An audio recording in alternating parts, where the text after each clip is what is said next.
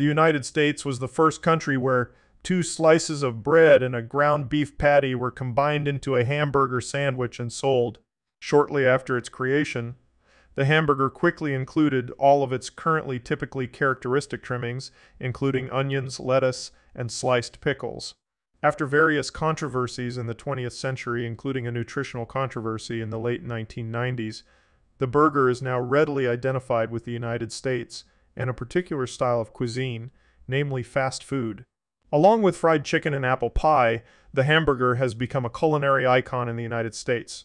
The hamburger's international popularity is the result of the larger globalization of food that also includes the rise in global popularity of other national dishes, including the Italian pizza, Chinese fried rice, and Japanese sushi. The hamburger has spread from continent to continent, perhaps because it matches familiar elements in different culinary cultures.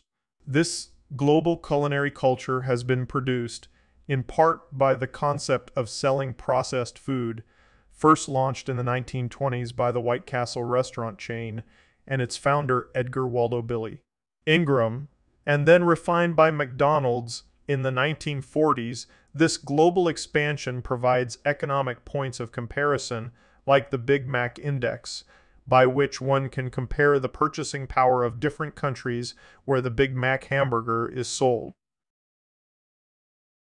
Before the disputed invention of the hamburger in the United States, Similar foods already existed in the culinary tradition of Europe. The Apicius Cookbook, a collection of ancient Roman recipes that may date to the early 4th century, details a preparation of beef called isicia omentata, served as a baked patty in which beef is mixed with pine kernels, black and green peppercorns, and white wine. Isicia omentata may be the earliest precursor to the hamburger. It is not known when the first restaurant recipe for steak tartare appeared. While not providing a clear name, the first description of steak tartare was given by Jules Verne in 1875 in his novel Michael Strogoff. There are certain similarities between steak tartare and the German dishes Labskaus and Mett. Other similar raw chopped meats appeared in the 20th century. One of the oldest references to a Hamburg sausage appeared in 1760. Brie and Hannah Glasse's Art of Cookery made plain and easy Hamburg sausage is made with minced meat and a variety of spices, including nutmeg, cloves, black pepper, garlic, and salt, and is typically served with toast. Other dishes are also made with minced meat, such as meatloaf, the Serbian pljeskavica, the Arab kofta, and meatballs. The word sandwich was not recorded until the 18th century.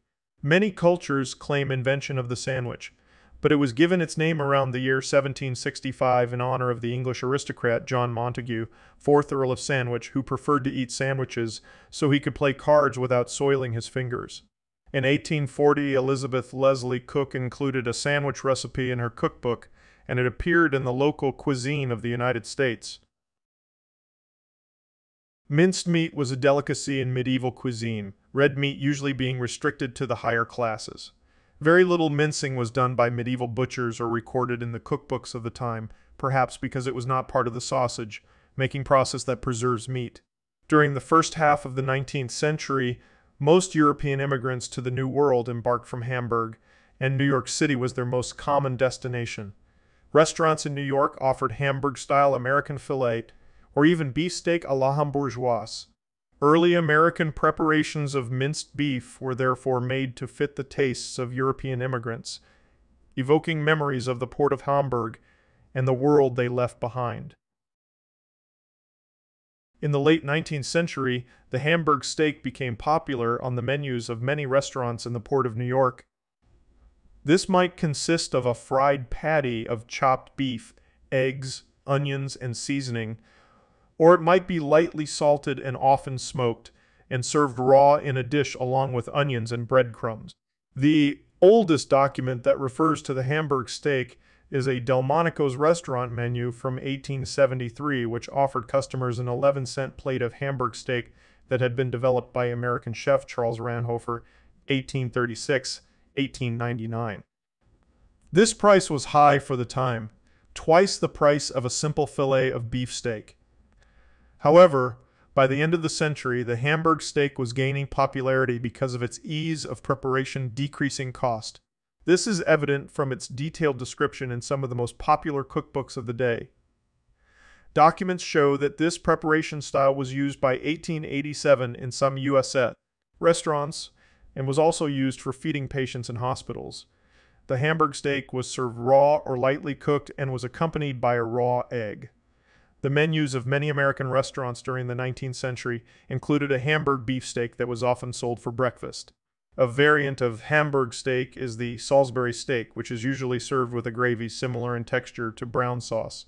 Invented by Dr. James Salisbury, 1823-1905, the term Salisbury steak has been used in the United States since 1897.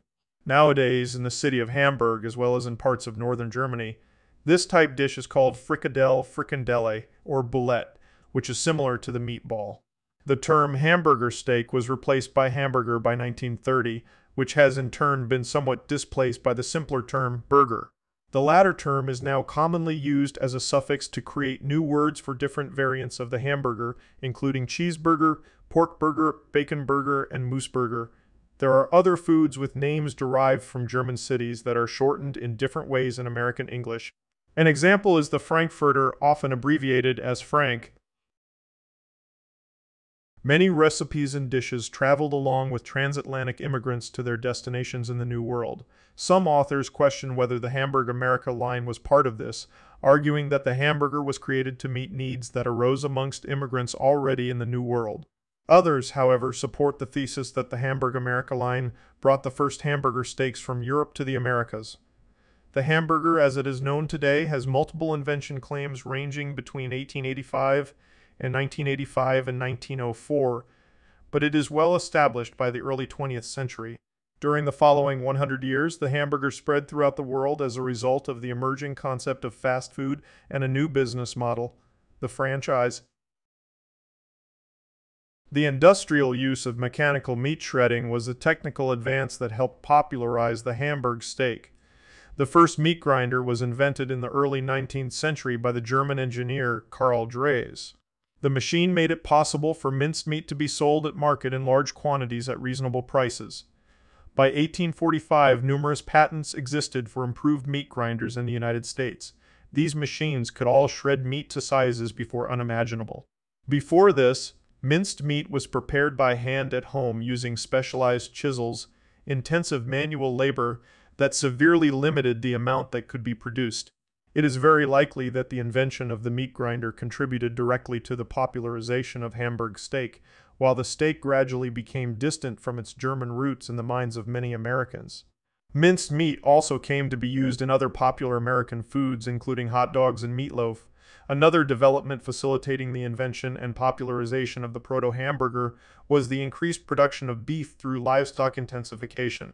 By the late 19th century, an increasing amount of land was being devoted to cattle and a growing number of people being employed as cowboys, resulting in the United States becoming one of the world's largest producers and consumers of beef. The 1880s were declared the golden age of beef, during which the abundance of rural beef production made vital its transportation by rail from agricultural to urban areas. This gave rise to various methods of meat preservation for making possible the consumption of fresh meat in urban and industrialized areas, among the refrigerator cars and different methods of packaging meat, such as corned beef, which were promoted by industrialists like Gustavus Swift, 1839-1903. Around this time, the city of Chicago, along with other cities on the East Coast, became a focal point for the large-scale processing of beef, Beef was already inexpensive at that time, and it was available to the working class. This put the Hamburg steak within reach of the vast majority of the population, giving rise to what some authors jokingly call the American beef dream. In this era, the number of steakhouses that specialized in serving steaks increased markedly. Some restaurants even served steak along with seafood in a dish known as surf and turf, the high production and consumption of beef cattle in the United States made the meat industry increasingly powerful by the end of the 19th century. Corruption problems soon arose in the meat industry, problems that endangered both quality and hygiene. At the beginning of the 20th century, Upton Sinclair published The Jungle, a novel about conspiracies and corruption in the American meat industry, intended as a veiled criticism of the industry itself. The book raised popular awareness about the safety of meat processing and helped lead to the creation of the Pure Food and Drug Act, which was sponsored by the Food and Drug Administration. The jungle was a milestone in the subsequent history of the hamburger, as it led the American public to force restaurant chains to prove the safety of their cooked meat. In 1933, Arthur Kallet published a similar book entitled 100 Million Guinea Pigs Dangers in Everyday Foods, Drugs, and Cosmetics, which warned consumers specifically about the content preservatives in hamburgers. Many people have claimed to have invented the hamburger as a sandwich of a ground beef patty placed between two slices of bread. All claims for invention occur between 1885 and 1985 and 1904, making it probable that the hamburger was created sometime in these two decades. Despite varieties, common elements in these narratives include the claim that the hamburger was born as a food associated with major events such as amusement parks, fairs, conferences, and festivals. These hypotheses also often share the presence of street vendors. James A. Cockrell, editor of the St. Louis Globe, Democrat, states that in St. Louis, I've heard from person whose parents or grandparents came from the southern regions of Germany say that northern Germans in the city of Hamburg were much given to eating ground meat even in the distant past. Other Germans disapproved of the Hamburg ground meat freaks, especially the Hamburg types who liked raw ground meat. So the St. Louis Germans may have named the sandwich hamburger as a derisive gesture toward the barbaric ground. Meat gobblers in the city of Hamburg. It is certain that the people of Hamburg, it is certain that the people of Hamburg never got around to making a ground meat sandwich. If they did, it never caught on over there. One of the first birth of the burger stories belongs to Canton, Ohio. Natives Frank and Charles Menches, who were food vendors at the 1885 Erie County Fair outside of Buffalo, New York, also known as the Hamburg Fair. According to this story, during the fair, the Menches ran out of their signature menu item of pork sausage sandwiches. Their local supplier, butcher Andrew Klein, was reluctant to butcher more hogs during a period of unseasonable late summer heat and suggested to substitute the use of ground beef. The brothers fired some up, but both found it dry and bland. They added coffee, brown sugar, and other ingredients to create a unique taste. The original sandwiches were sold with just ketchup and sliced onions. With newfound success with their beef sandwich, they named it the Hamburger after the Erie County Fair's hometown of Hamburg, New York. National Birth of the Burger Day is celebrated on September 18 to honor the invention of the burger in 1885 at the Hamburg Fair. In the 1920s, carnival historian John C. Kunzog interviewed Frank Menches about his experience at the Erie County Fair. His detailed hamburger story was published in this book, Tambark Kinsell published in 1970. Another possible inventor of the hamburger is Charlie Nagreen, 1871 1951-1951, of Seymour, Wisconsin, who at the age of 15 sold Hamburg steaks from a street stall at the annual Outagamie County Fair. Nagreen said he began by selling Hamburg steaks, but these did not have much success because people wanted to freely move around the festival without the need to eat them at his stand. In response to this, in 1885, Nagreen decided to flatten the hamburger steak and insert it between two slices of bread so that the public could move freely from booth to booth while eating his sandwich, an innovation that was well received by his customers. This became known as the Hamburger Charlie, and Nagreen's creation was sold at the festival until his death in 1951. To this day, his accomplishment is celebrated annually with a Burger Fest in his honor in his hometown of Seymour. Another alleged inventor of the hamburger is the cook Fletcher Davis, better known as Old Dave, who claimed to have had the idea of putting ground beef between two pieces of Texas toast when one of his customers was in too much of a hurry to sit down for a meal. The customer walked away with his hamburger steak and seemed so content that old Dave offered his new carry-out meal as a staple menu item at the end of 1880 in Athens, Texas. Fletcher had a stall with his wife at the St. Louis World's Fair of 1904. Texan journalist Frank X. Tolbert mentions a salesman named Fletcher Davis who served hamburgers in a cafe at 115 Tyler Street in Athens during the late 1880s. The locals claim that Davis was selling beef sandwiches during that time without having a clear name for his invention. During the 1980s, the Dairy Queen ice cream chain filmed a documentary about the birthplace of the hamburger featuring Davis Story. The story of Old Dave's hamburger sandwich is also found mentioned in Ronald L. McDonald's book, The Complete Hamburger. In the same year that Charlie Nagreen claimed to have developed his hamburger Charlie, the brothers and street cooks Frank and Charles Menches of Akron, Ohio, claimed to have sold a ground beef sandwich at the Erie County Fair. They assert that the name of the hamburger was derived from the town Hamburg, New York, in Erie County, the first place in which it had been sold. This statement has been very poorly documented or substantiated, and in the case of an oral tradition, it is not without its contradictions. Its famous description of the secret ingredients used in the recipes, such as coffee or brown sugar, is primitive. Another version of the creation of the hamburger is that of German cook Otto Quasse, who created a very popular sailor sandwich made of a fillet of beef patty fried in butter, served with a fried egg between two tasted buns in 1891 at a post in Hamburg, Germany. The sandwich was called the Deutsches beefsteak, German for German beefsteak. Many of the sailors traveling on ships between Hamburg and New York requested a similar Hamburg-style sandwich at American steakhouses. There are many additional claims as to the origin of the hamburger. Some enthusiasts claim the hamburger could have been created in São Gonçalo, a municipality located in the Brazilian state of Rio de Janeiro, in the 18th century by a chef named Sour Brown Little. Victor, but this claim has no supporting evidence to back the opinion. A local newspaper claims that Louis Lassen, a Danish immigrant who arrived in America in 1880, sold butter in 1880, sold butter and eggs as a street vendor.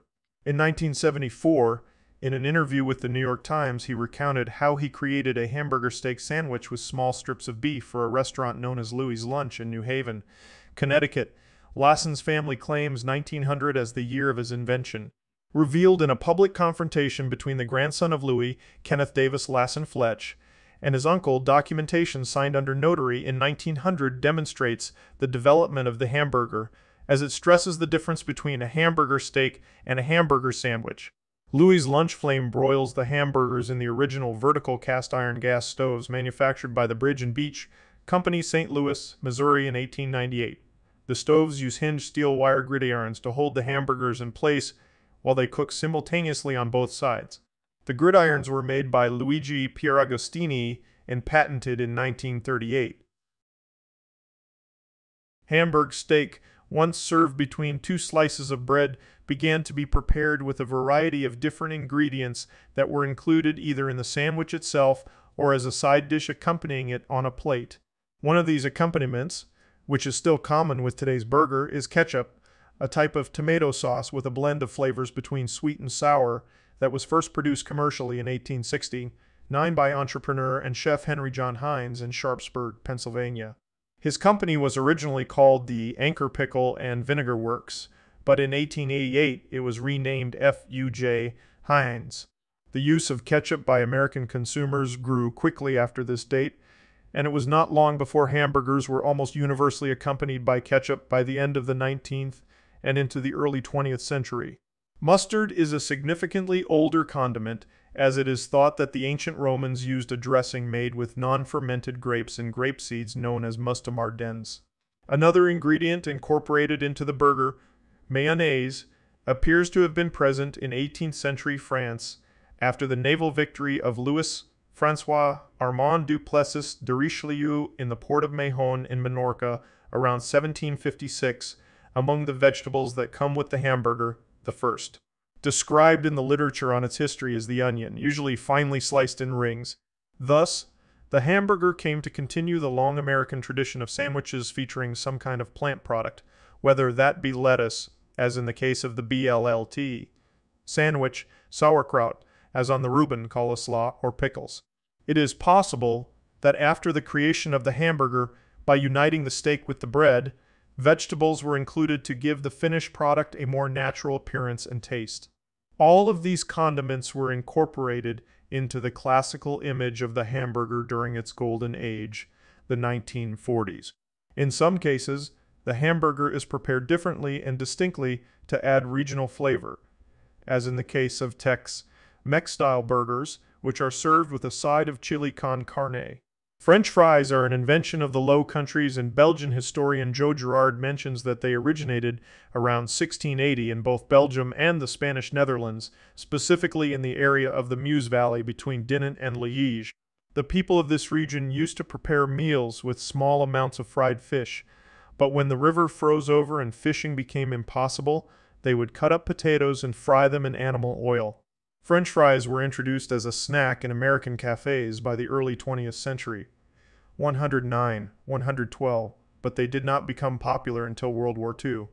Era rationing made them an inexpensive and easily available menu item.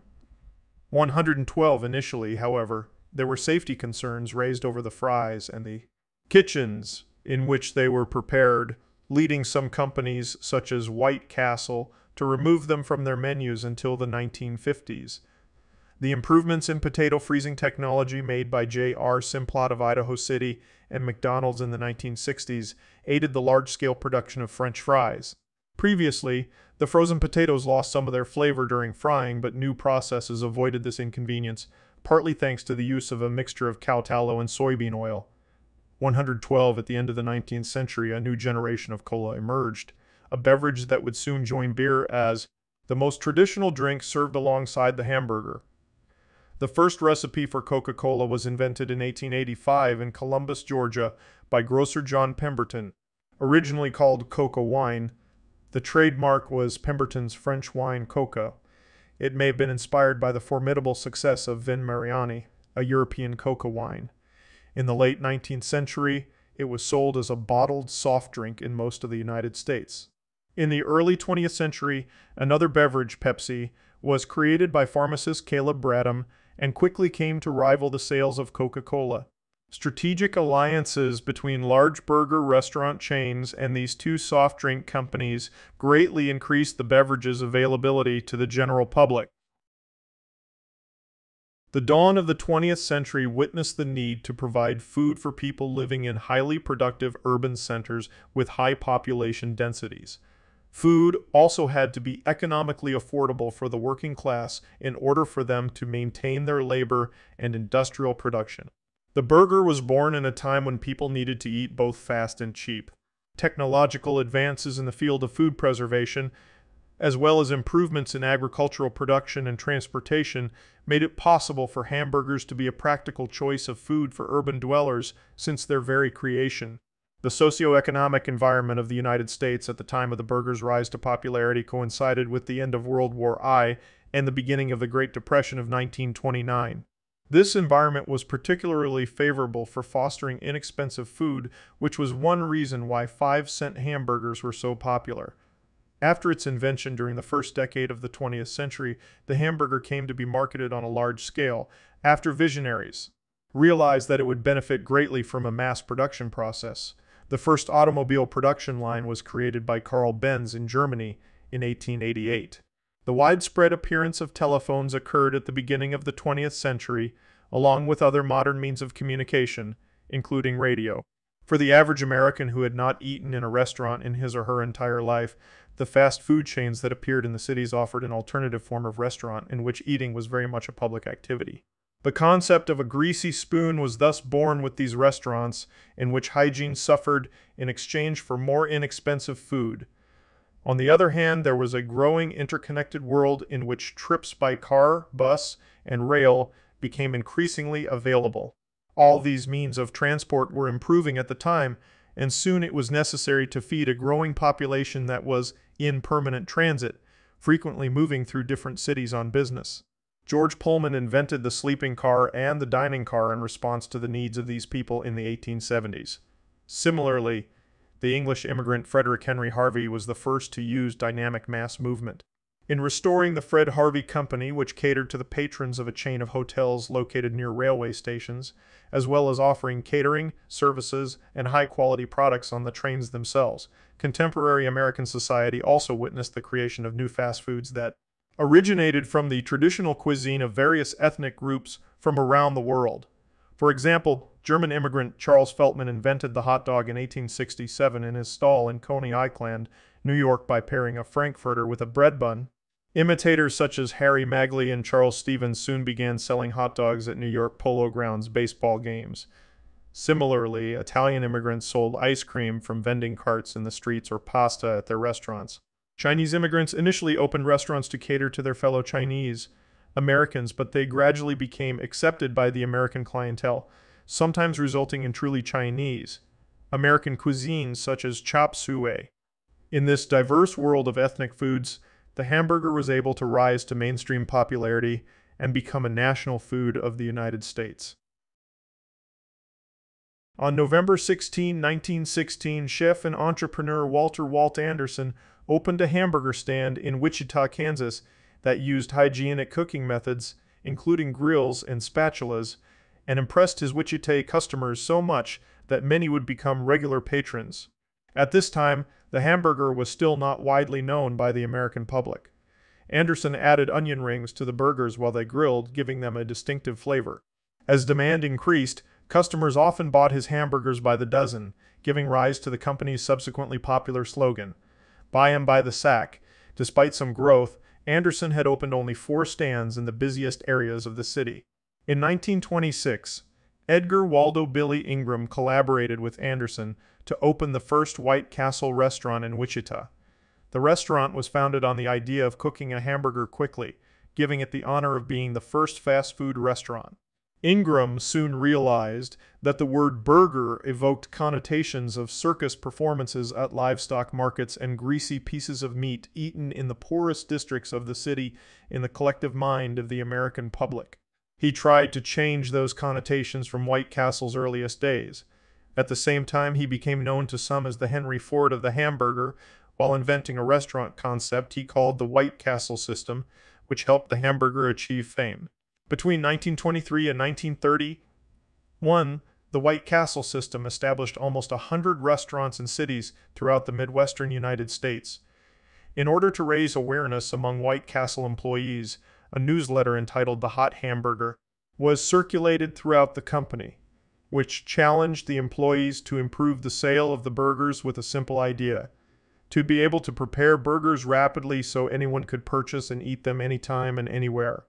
Instead of waiting for half an hour to be served at a traditional restaurant, the White Castle system provided rapid service and a menu centered around the hamburger. At the time, the hamburger was typically served with coffee. Upton Sinclair's The Jungle had already caused public outrage over the safety of processed meat, so by the 1920s, the general public had come to expect a clean and hygienic hamburger. In addition to offering clean and safe food, White Castle offered regularity and standardization, ensuring that each patty was served in the same manner in each restaurant. At the time, this was an entirely novel idea that would revolutionize the sale of food itself with a style that would come to be known as fast food. During its early years, White Castle emphasized providing quality coffee and collaborated with universities to publish studies on the nutritional quality of their hamburgers. The success of the White Castle chain was rooted largely in the power of propaganda, something that was both an original innovation and necessary to change the public's negative perception of the hamburger. In 1931, it became the first restaurant to advertise in newspapers using its old buy 'em by the sack slogan. White Castle also pioneered the concept of takeout service, and the restaurant is further known for being the first to market square burgers called sliders, which were sold for 5 cents into the 1940s. White Castle was founded in March 1920, one in Wichita, Kansas, by Billy Ingram and his business partner, the cook Walter Anderson, and they opened a second restaurant in Kansas City in 1924.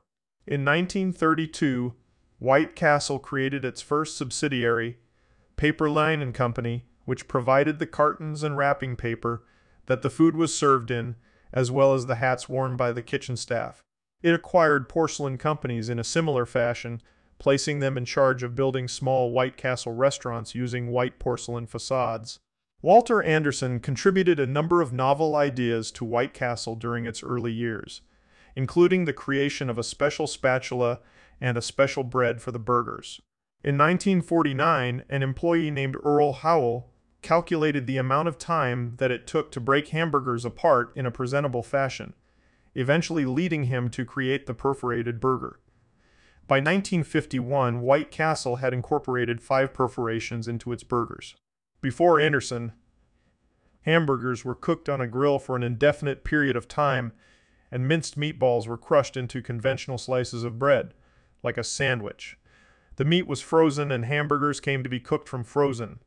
Instead of using fresh meat, White Castle revolutionized the burger making process by regularizing the finished products and using hygienic preparation techniques that were in clear view of the customers.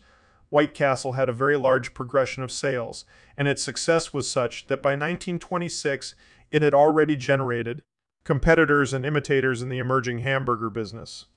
One of these imitators also had a highly similar name, White Tower Hamburgers of Milwaukee, Wisconsin, founded by the father and son tandem of John E. and Thomas E. Saxe. The creation of White Tower led to numerous legal battles between it and White Castle during the 1930s. By 1930, White Castle already had 116 restaurants spread over a distance of 2,300 kilometers, 1,400 kilometers, 1,400 mi, all of which were located within the United States. One, the company eventually became a large restaurant chain, however, there has never been a restaurant outside of the United States. The American shortage of beef during World War II had little effect on sales across White Castle, due to the effect of vertical integration along with the appearance of fast food chains that operated on a franchise model that emphasized horizontal integration. In 1937, Patrick McDonald and his two sons, Richard and Maurice, inaugurated the simple restaurant Airdrome on Huntington Drive, Route 66, near the airport in the American city of Monrovia, California. The success of its sales eventually led to the May 15, 1940, opening of a restaurant named McDonald's along U.S. Route 66 in San Bernardino, California. After analyzing their sales, the brothers discovered that, to their surprise, 80 of their revenue was coming from selling hamburgers. The menu initially featured 25 different dishes, the majority of which were barbecued. Through their new restaurant, the McDonald brothers introduced the notion of fast food to parts of the western United States by 1948. From the beginning, McDonald's focused on making hot dogs and hamburgers as efficiently and quickly as possible. During the 1940s, simple and formative concepts took root at McDonald's, including the preparation and service of burgers in just one minute and the ability for customers to eat in their own cars in a drive in style. All the while, the restaurant was trying to further develop a hamburger that was inexpensive enough to be within the economic reach of most Americans. By the 1950s, the concept of drive in style service had become firmly established, and hamburgers and cars had become closely connected in the minds of many Americans. It was now not only possible for a customer to purchase a hamburger without getting out of a car, and a customer also no longer needed to wait to be served.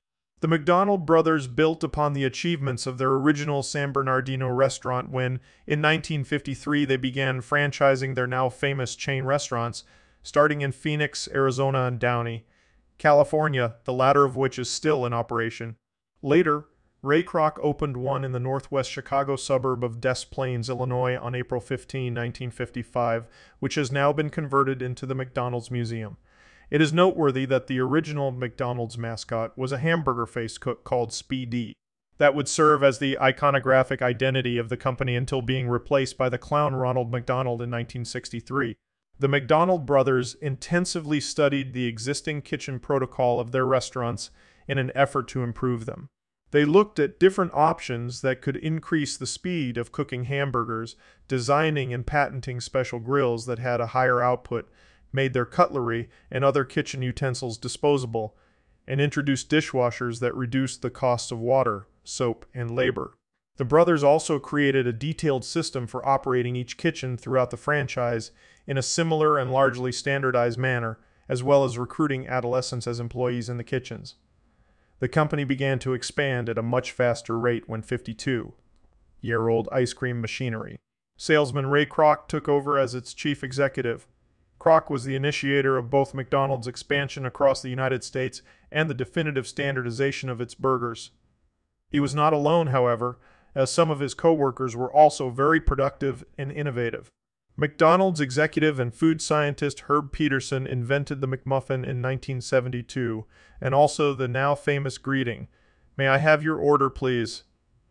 And another key development, Jim Delligatti of the Pittsburgh franchise invented the Big Mac in 1967 The McDonald's successful expansion was mainly due to its use of the franchise system, an innovation borrowed from a sewing machine manufacturer, the Singer Corporation. Singer had developed it during the late 19th century, and it was so successful that it was soon adopted by its competitors. Nowadays, McDonald's even has its own university for training its staff. Hamburger University, located in Oak Brook, Illinois. Graduates receive a degree entitled Bachelor of Hamburgerology with a minor in French fries. As McDonald's expanded into other countries, it encountered more opposition and general difficulties, as was the case in 1996 when it opened a restaurant in New Delhi amid outcry from Indian leaders. In 1995, the country with the most McDonald's restaurants, aside from the United States, was Japan, followed by Canada and Germany, while the company itself had restaurants in more than 100 countries. Throughout its history, the company has become a symbol of globalization and Western culture, sometimes resulting in it being the subject of anger and protests in various parts of the world. Many different variants of the hamburger have been created over the years, some of which have become very popular. Much of this diversity has been the product of other restaurant chains that have tried to reproduce the success of McDonald's and White Castle, while others serve to influence McDonald's. An example of a restaurant that influenced McDonald's and its imitators is Big Boy, which was first opened in 1936 by Bob Wian in Glendale, California, and became known in that local as Bob's Big Boy. It was at this restaurant that a major hamburger variant, the double deck cheeseburger with two beef patties, was first made. Wian's creation was distinctively served by Big Boy restaurants with the bun sliced twice, the center slice known as the club section, separating the two patties. The chain also popularized the drive, in restaurant format taken and simplified by McDonald's type fast food operators. By the 1960s, Big Boy had expanded throughout the United States and Canada. Despite the benefits it provided to Wian, the chain was sold along with the rights to their signature Big Boy hamburger to the Marriott Corporation in 1967. This same year, McDonald's franchise Jim Delligatti created an imitation of the Big Boy. The Big Mac, an example of the many McDonald's and White Castle imitators, is Kewpee Hamburgers, a fast food chain founded in 1923 in Flint, Michigan by Samuel Five. Blair as Kewpee Hotel Hamburgs. As with the invention of the hamburger, the exact origins of the cheeseburger are unknown. Several chefs claim to have been the first to add a slice of cheese to a hamburger. Lionel Sternberger of Rite Spot in Pasadena, California, takes credit for the cheeseburger, claiming that he invented it between 1924 and 1926. A description from a 1928 menu from the O'Dell restaurant in Los Angeles reveals that it was serving burgers with slices of cheese at the time. Louise Ballast, owner of the Humpty Dumpty Drive-In restaurant in Denver, Colorado, made an attempt to create a cheeseburger with a registered trademark known as a yellow burger in 1935. J.C. Reynolds, the operator of a bar in Southern California from 1932 to 1932 to 1932 to 1984, popularized a pimento burger. Processed cheese, the type of cheese most used in cheeseburgers, was invented in 1911 by Walter Gerber of Thun, Switzerland, although the first U.S. patent awarded for it was given to James L. Kraft in 1916. Kraft Foods went on to create the first commercial version of sliced processed cheese, which was first introduced to the market in 1950. After World War II, a number of hamburger restaurants known as Instaburger King later Burger King, began emerging, the first of which was opened on December 4, 1954 in a suburb of Miami, Florida. It was established by James McLamore and David Edgerton, both of whom were students at the Cornell University School of Hotel Administration. McLamore had visited the original McDonald's in San Bernardino, California, when it was still owned by the McDonald brothers, and saw the potential that existed for the mass production of hamburgers. He was so inspired by this visit that he decided to create a similar burger chain himself. By 1959, Burger King already had five restaurants in metropolitan Miami, and its early success prompted McLamore and Edgerton to expand throughout the United States by using a franchise system that allowed them to grow the business at a relatively low cost. They formed Burger King Corporation as a parent company to the franchises they were selling throughout the United States. The Burger King Corporation was acquired by the Pillsbury Company in 1967 and during the 1970s, it began to expand outside the United States, principally in South America and Europe. Burger King's core product has long been the Whopper, which was created in 1957 by founder James McLamore and initially sold for 37 cents. Wendy's was founded by Dave Thomas and John T. Schessler on November 15, 1960, 1969, in Columbus, Ohio. By the late 1970s, it had become the third largest hamburger company in the United States. Wendy's has consistently tried to differentiate itself from other hamburger restaurants by its claim that it makes its burgers using fresh, not frozen, beef. Wendy's sparked a controversy and entered into American pop culture in the 1980s with its Where's the Beef? advertising slogan and an accompanying campaign stressing the primacy of the beef patty over the hamburger's other ingredients. The hamburger was very popular among Americans during the post-war period following World War I, even in popular culture. An example of this was the prominent appearance of hamburgers in E.C. Segar's Thimble Theater comic strip, which prominently featured a cartoon character named Popeye the Sailor who ate spinach to sustain his superhuman strength. Popeye's first appearance was as a supporting character on January 17, 1929, alongside many other characters. One of these characters was J. Wellington Wimpy, often shortened to just Wimpy, a lover of hamburgers who was both polite and gluttonous. His signature phrase, I'd gladly pay you tomorrow for a hamburger today, became popular and widely known. During the height of his popularity in the 1930s, Wimpy introduced the hamburger to the youth of the time as a healthy food. It also resulted in the creation of a chain of fast food restaurants called Wimpy's in his honor, which sold hamburgers for 10 cents. In a similar fashion, the fictional character Jughead Jones, who first appeared in Archie Comics in 1941, was passionate about food generally, and hamburgers specifically. Fictional characters related to the hamburger, such as the Ronald McDonald clown character, designed by Willard Scott, who first appeared on television in 1963, soon became a recognizable part of American culture. The burger also made appearances in underground comics such as Zap Comics 2 during the late 1960s, in which cartoonist Robert Crumb designed a character called Hamburger High Dinks.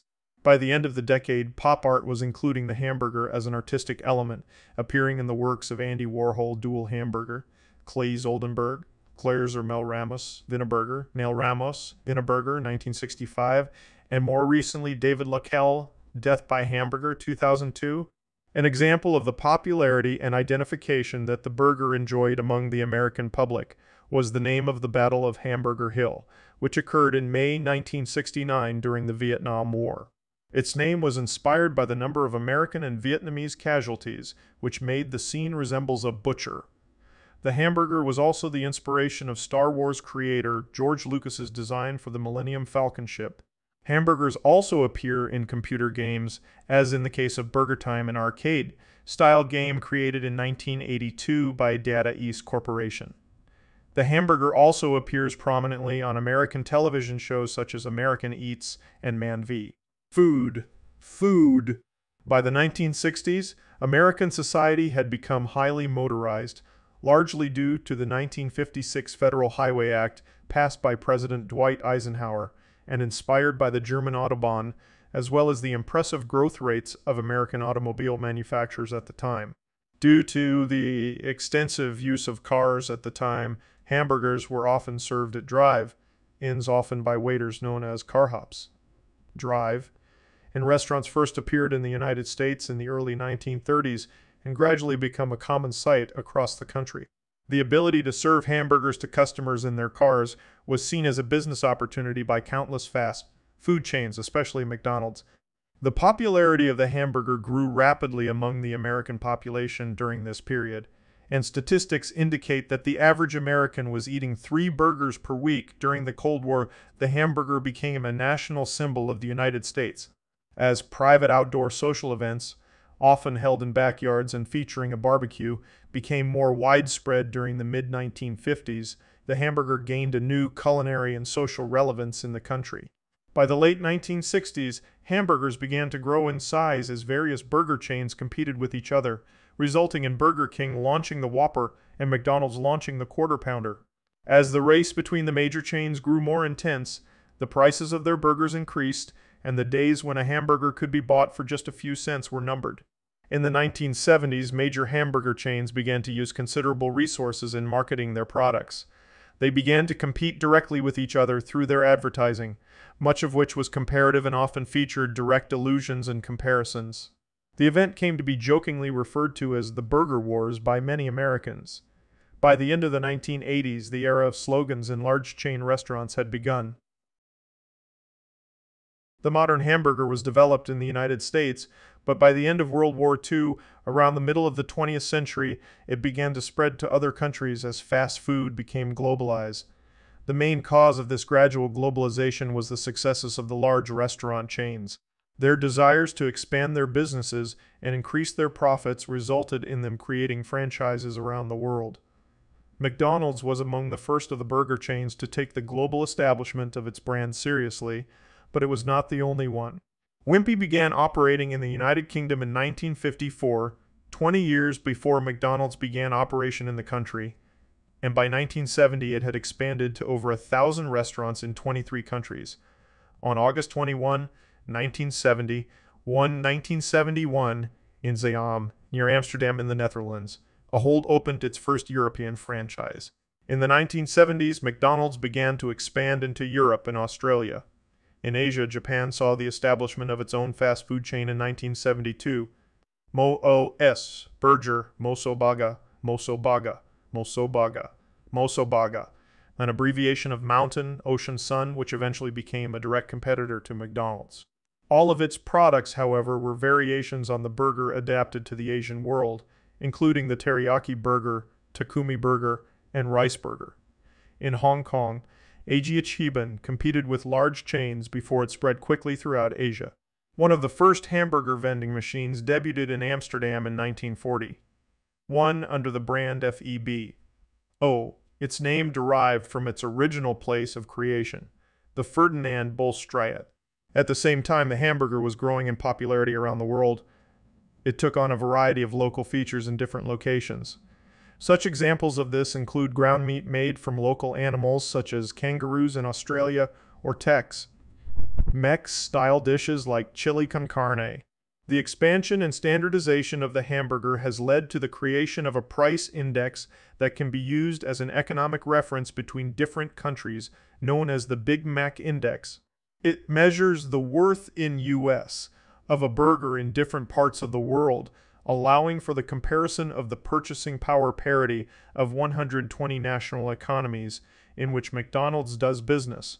American sociologist George Ritzer coined the related concept of McDonaldization in his 1995 book McDonaldization of Society. Another byproduct of the globalization of fast food was the creation of international competitive eating contests that involve contestants from many different countries. One of the best known contests is the Krystal Square Off, run by the Fast Food Chain Krystal, and sponsored by the International Federation of Competitive Eating, IFOK, which has been held annually since 2004. In the 20th century, the hamburger has appeared as the central topic in some books on the literature of culinary topics.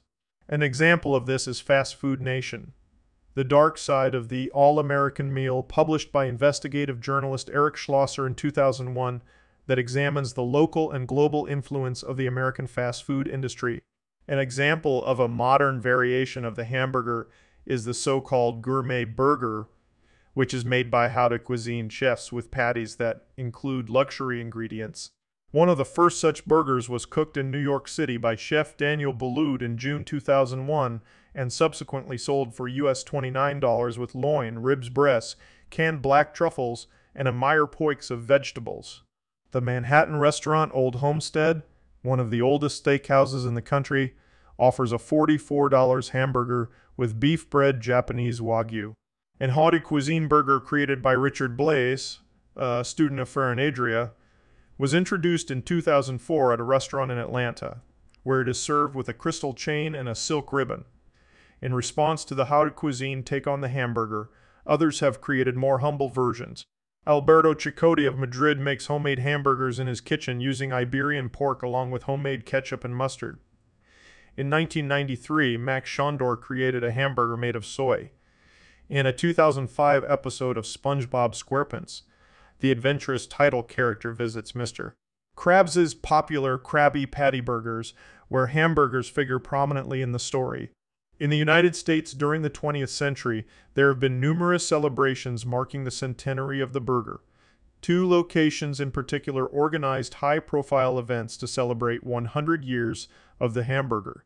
One was held in Athens, Texas in November 2006 in honor of Fletcher Davis.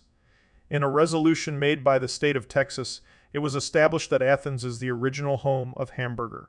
However, in August 2007, the state of Wisconsin made the same claim on behalf of the town of Seymour, the home of Charlie Nagreen, who also claimed to be the creator of the hamburger. These two decisions have split the honor of creating the hamburger between these two American cities. The town of Seymour continues to annually celebrate a Burger Fest on the first Saturday of each August. Since the latter part of the 20th century, the burger has undergone several controversies regarding its nutritional values. In an era in which a growing amount of the world's population has become either overweight or more conscious of weight and the need for a healthy diet in general, the appearance of exceptionally larger burgers, popularly known as XXL hamburgers, has generated considerable controversy. One example of this is the Triple Whopper, which surpasses the 1,000 calorie threshold established by the Health Strategy Against Obesity, which is promoted by the Health Institutes of the Spanish Association of Food and Nutrition Safety. Uh, uh, uh, a SAN works to prevent the growth of the incidence of obesity in all people, particularly children. More generally, dietitians are beginning to see that the consumption of foods high in calories can cause excessive appetite. In response to this message, many restaurant chains have reduced the calories in their burgers since the beginning of the 20th century. The late 20th century witnessed a lawsuit brought by McDonald's against two environmental activists, Helen Steel and David Morris, that was colloquially known as the McLibel case. McDonald's took action following the publication of a pamphlet by Steel and Morris that was entitled What's Wrong with McDonald's? Everything They Don't Want You to Know, which was subsequently developed into a documentary called McLibel. In 2004, Morgan Spurlock addressed the obsessive consumption of hamburgers by some Americans by directing and starring in the documentary film Supersize Me in the film, he himself eats only McDonald's food for an entire month and documents how his health changes. That same year saw the premiere of Harold e. Kumar Go to White Castle, a film in which White Castle restaurants played a vital part. Two years later, in 2006, the film Fast Food Nation presented a fictional representation of the intrigues and machinations of the meat industry on the border between Mexico and the United States. It is largely based on the 2001 book Fast Food Nation. The Dark Side of the All American Meal.